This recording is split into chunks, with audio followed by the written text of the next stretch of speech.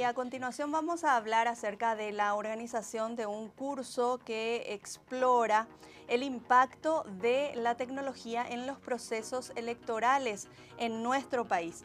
Para conocer más detalles acerca de este tema, ya nos acompaña aquí en los estudios de Canal Pro Leonardo Gómez, él es investigador de TEDIC. Leonardo, muchísimas gracias por acompañarnos y bienvenido a Protecno. Hola, Cari. Bueno, muchísimas gracias por la invitación y bueno, un saludo a toda la audiencia. Leo, contanos eh, en qué consiste esta nueva oportunidad de formación que ofrecen desde TEDIC y otras organizaciones que se suman también a este, a este proyecto y que tiene que ver con investigaciones que ustedes ya están realizando justamente desde hace tiempo eh, lo que tiene que ver con eh, los procesos electorales, sobre todo el voto electrónico. Exactamente. Bueno, desde TEDIC desde hace varios años vienen, se vienen desarrollando unas investigaciones dentro de una serie denominada tecnología de elecciones. Estas investigaciones van desde voto electrónico, eh, propaganda electoral en redes sociales, desinformación, violencia política a mujeres, candidatas, eh, y bueno, y, el gran tema ¿no? de, desde los últimos años, que es la implementación de las máquinas de votación electrónica, eh, que, que, bueno, lo, plantea muchos dilemas en cuanto a seguridad, soberanía, eh, auditorías, preocupaciones sobre los procesos.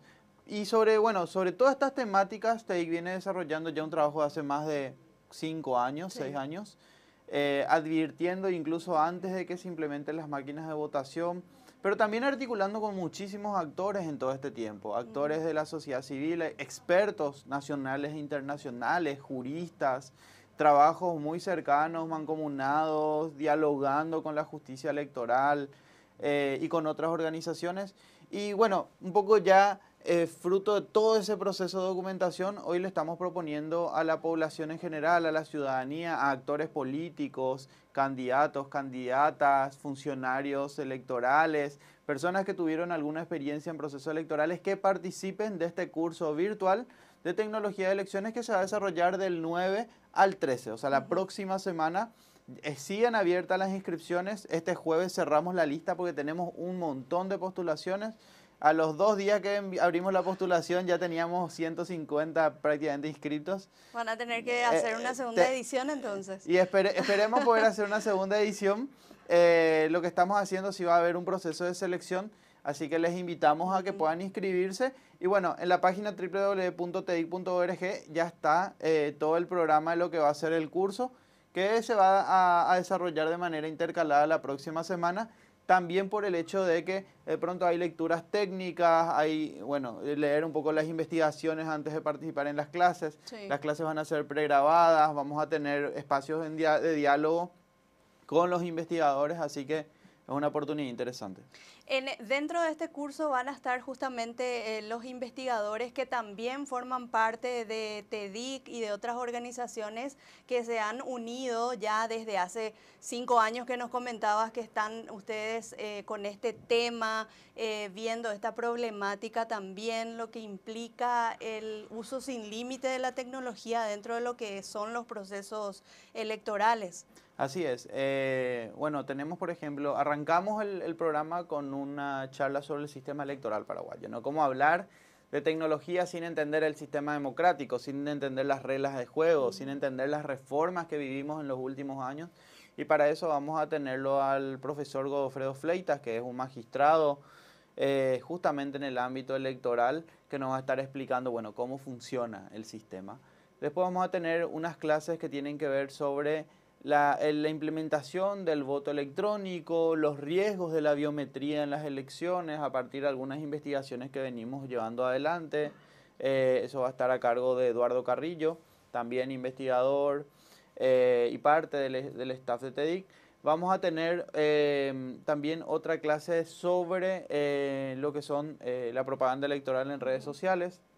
Vamos a tener, bueno, propaganda electoral en redes sociales que ya en algún momento lo hablamos acá, ¿no? Los riesgos que plantean, la, falta de regulación clara que hay, la necesidad de articular esfuerzos con las plataformas. La desinformación también que existe a pesar de que está en redes sociales. Exactamente. Bueno, con Mari Carmen Sequera, que es la eh, directora de la organización, vamos a estar hablando sobre justamente este fenómeno de la desinformación estas tensiones entre desinformación, libertad de expresión, regulación de intermediarios o plataformas.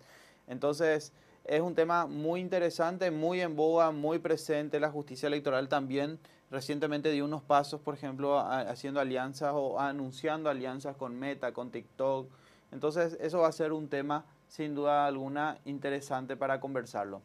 Después vamos a tener otra, eh, otra charla que tiene que ver sobre la violencia política de género que se están dando en contextos electorales, particularmente eh, fruto de un proceso de diálogo con mujeres candidatas de distintos espacios, de distintos sectores, en confianza, de una forma muy privada. Eso, eso, eso va a estar, digamos, anticipando los hallazgos de una investigación que estamos por lanzar.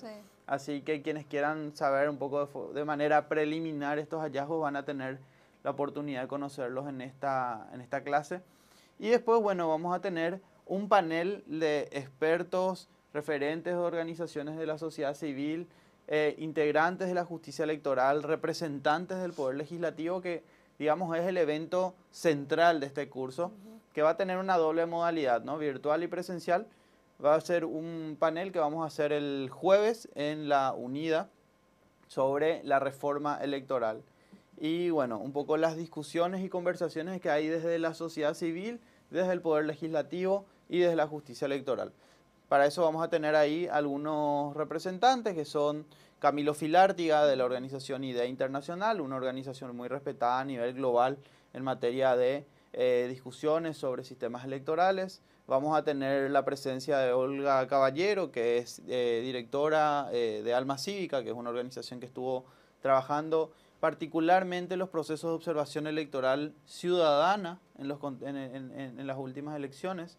Vamos a tener eh, a Carlos María Lubetich, ¿no? el doctor Lubetich es un viejo conocido de la justicia electoral, de, de, todo lo que es el impulso de las reformas electorales, eh, y bueno, quizás uno de los ideólogos de esta propuesta que hoy está en el Congreso. Y vamos a tener por el otro lado al senador Eber Villalba, que recientemente estuvo promoviendo algunas conversaciones en el Congreso sobre el tema del voto electrónico. Y bueno, al diputado Raúl Benítez, que también eh, va a estar un poco aportando la visión desde la otra Cámara del Congreso. Así que es un mega panel. Ese panel está abierto, o sea, si no se inscriben al curso, porque ya no hay cupos, no se preocupen. Igual pueden participar. Pueden participar del evento presencial y pueden seguirlo de manera virtual también, este evento que va a haber el jueves, así que obviamente vamos a estar compartiéndoles también de nuevo todos los materiales, los enlaces y las personas que tengan interés pueden seguir en eh, nuestras redes sociales. Leo, ¿cuál es el principal objetivo de este encuentro, de esta actividad? Lo, lo principal de esto es poner en conversación Primero que la gente sepa que hay una reforma electoral en puertas. Creo que muy pocas personas están dimensionando que en los últimos años ya tuvimos importantes reformas, ¿no? El financiamiento político, la, implementación de las máquinas de votación. Eh, estamos viendo que, bueno, eso, el, sistema de voto preferente son cambios sustantivos del proceso electoral. Entonces, nosotros creemos que este es un momento de parar la pelota, mirar qué es lo que hicimos, mirar qué es lo que avanzamos, mirar las cosas que funcionaron bien o no tan bien y ver qué se nos viene por delante. Porque por delante se nos viene, por ejemplo, eh, una nueva elección, ¿no? las elecciones municipales. Se viene un nuevo proceso de implementación de máquinas, probablemente. Se viene un proceso de nuevas reformas o, implementación de reformas que ya se hicieron recientemente y que todavía no se pusieron en marcha.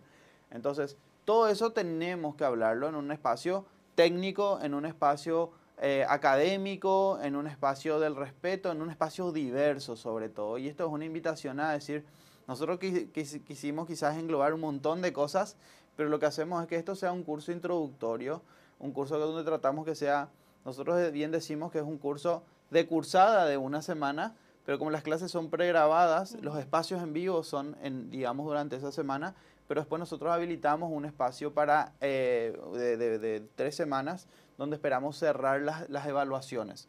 ¿Por qué? Porque cada persona que se inscriba va a tener que rendir un examen de conocimientos que lo que obliga un poco a leer, meditar sobre las reformas, tener conocimiento sobre la situación, porque lo que nosotros necesitamos es que los actores tomadores de decisión, los actores de la sociedad civil, los actores del Estado, los actores que están interesados en este tema tengan herramientas para hacer una discusión sólida, sustantiva y poder poner en diálogo las distintas posturas. Y aporten ideas también. Los participantes mismos pueden llegar eh, a una conclusión, a iniciativas nuevas, ¿verdad? Justamente hablando de todo lo que se viene y hay que prepararse para eso. Exactamente. y, sobre todo porque al fin y al cabo la voluntad creo que de todas las personas que, que están involucradas en este espacio, con sus distintas posturas, con su bagaje técnico, es aportar al fortalecimiento de la democracia, aportar al fortalecimiento del sistema electoral, garantizar reglas de juego limpias que garanticen la libre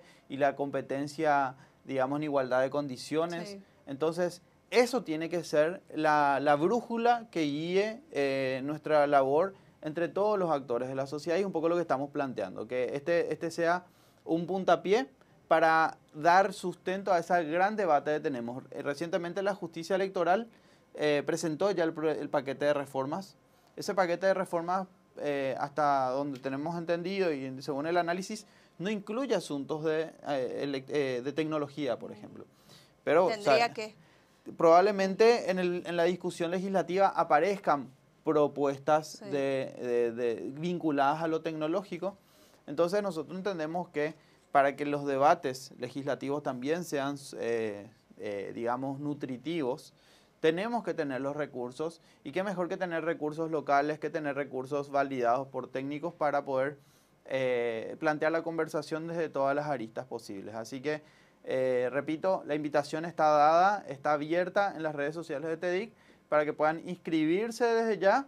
Y bueno, el viernes nosotros vamos a estar anunciando quiénes quedaron seleccionados para que se vayan el fin de semana ya más tranquilos a saber que el lunes arranca el curso y, eh, y el lunes estamos arrancando ya con toda la, con toda la cursada. O sea que esta es la semana clave para poder inscribirse, estar atentos a las redes sociales de TEDIC sobre todo, y desde ahí uno se puede inscribir, ¿verdad? Exactamente, ahí hay un formulario donde pueden inscribirse, eh, poner sus datos, y nosotros ya el viernes vamos a estar remitiéndoles por correo las confirmaciones a las personas seleccionadas. Y vale también recordar, Cari, que esto es parte de un todo. Como decía, esto es parte de una serie de investigaciones. Esto es parte de eh, una campaña comunicacional que vamos a empezar de ahora para las próximas semanas también. Un poco poniendo el recordatorio todas estas grandes conversaciones. ¿Sabías que se viene esta reforma? Cuáles son los temas que, se, que, que, que, interesan hablar o que, que se vienen hablando. Vamos a tratar de poner algunos elementos y también como una invitación abierta a otras organizaciones. Sumémonos todos y todas a la conversación de la reforma electoral. Y estas investigaciones de las cuales eh, hablas también están eh, publicadas justamente, difundidas ya en las redes de TEDIC. Exactamente, están todas publicadas y uno va a la página web de TEDIC eh, tedic.org eh, y, ve la sección de investigaciones, va a poder ver y, eh, digamos, analizar cada una de ellas. Porque, digamos, son, hasta el momento, son 13 investigaciones que publicamos en los últimos años. Imagínense. Mucho trabajo. Es mucho trabajo, recomendaciones, tiempo dedicado. Entonces, nosotros creemos que las investigaciones no están para eh, tenerlas entre cuatro paredes, sino para fortalecer el debate público. Y ahí es donde estamos haciendo un gran esfuerzo y ahí es donde queremos que, bueno, todos eh, puedan sumarse y encontrar en este curso una oportunidad de crecimiento, de sumar capacidades, de reflexión, de diálogo con los actores públicos y también aquellos que, hacen, eh, digamos, actividad política, entiendan lo que se viene antes de que aparezca, ¿no? Porque sabemos que los procesos electorales son una vorágine, ¿no? O sea, es muy difícil cambiar las reglas de juego cuando está aprobado el calendario electoral o es muy difícil en función al calendario electoral de pronto entender todas las complejidades, entonces qué mejor que empezar, ahora, empezar ahora, entender y independientemente de cómo se vayan dando las cosas, ya creo que vamos a estar contribuyendo a tener actores mucho más informados, mucho más capacitados y que sobre todo puedan ser defensores de ese proceso democrático que, anhelamos, que defendemos y que sin duda alguna tenemos que consolidar. La invitación está hecha entonces a aprovechar esta oportunidad de formación, de capacitación también, eh, este encuentro de ideas, de iniciativas, de debates que están proponiendo desde TEDIC y otras organizaciones también que integran eh, todo lo que tiene que ver con este curso que destacamos es gratuito. Es gratuito, es 100% gratuito, así que eso es una oportunidad también donde hay que aprovechar. Leo, muchísimas gracias. Eh, siempre es un gusto conversar contigo y recibirte aquí en los estudios de Canal Pro. Y bueno, acá el espacio está siempre abierto para ir conociendo todas las novedades, el trabajo que van realizando desde TEDIC. Muchísimas gracias, Cari. Y bueno, esperamos que vos también puedas participar en el curso. en algún momento estaré por ahí.